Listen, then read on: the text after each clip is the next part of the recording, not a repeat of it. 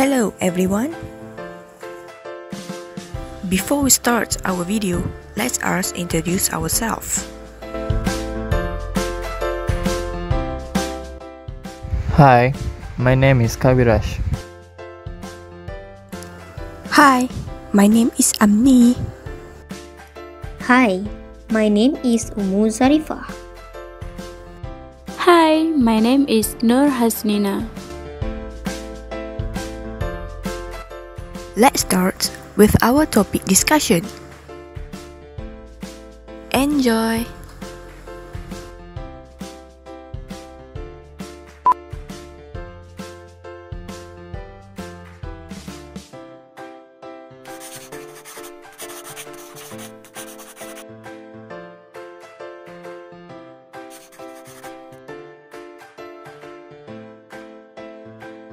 Before that, let me explain about law of contract.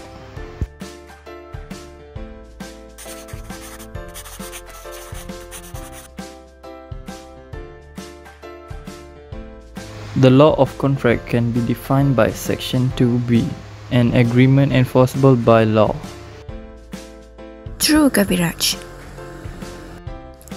Easy to say, contracts that are not enforced by law are void. Contracts are enforceable by law while an agreement are not.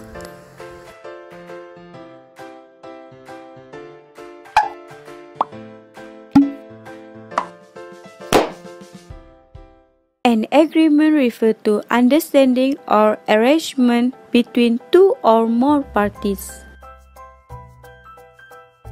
A contract can be defined as a specific agreement with terms and conditions that are enforceable by law.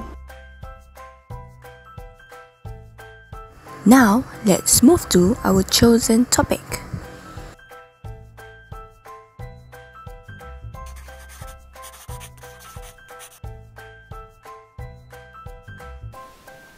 Offer. Offer is the first element of contract.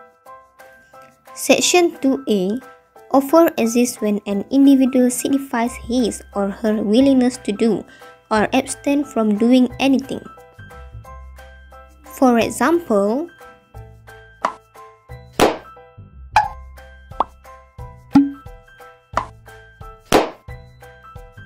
Hi Sarah, Hi Malik. What's up? I have something to tell you. Okay, sound interesting. Today is your lucky day. Lucky day. what do you mean? I heard that you having problem with your laptop, right? Yes, right. And And I wanted to sell my Samsung laptop for 2000 ringgit. Are you interested? Are you serious? Samsung laptop for RM 2000? Yes, I'm serious right now. If you say so, I buy it from you. Great. I'll bring it tomorrow. See you tomorrow then. Alright, Malik. Thanks for the offer. You're welcome. As you can see from example, Malik offered Sarah his laptop for 2000 ringgit. Sarah agreed to buy Malik's laptop for 2000 ringgit. When offer and acceptance exist together, a contract are exists. Offer plus acceptance equal to contract. A contract will not exist without an offer or acceptance. Next, there are four elements of offer that you should know.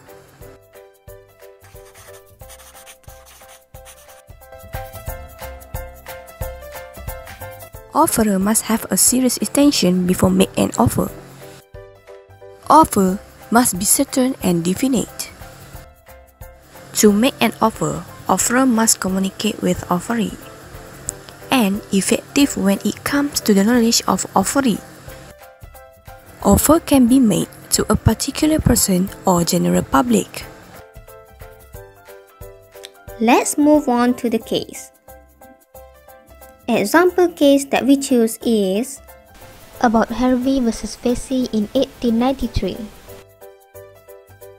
It started when Mr. Harvey, the mayor and council of Kingston, wanted to buy Mr. Facey's property in Jamaica. He sent a telegram to Mr. Facey and he said, Will you sell us bumper hall pen? Telegraph lowest cash price, answer paid. Lowest price for bumper hall pen is $900. We agree to buy bumper hall pen for $900 asked by you. Please send us your title deed in order that we may get early possession.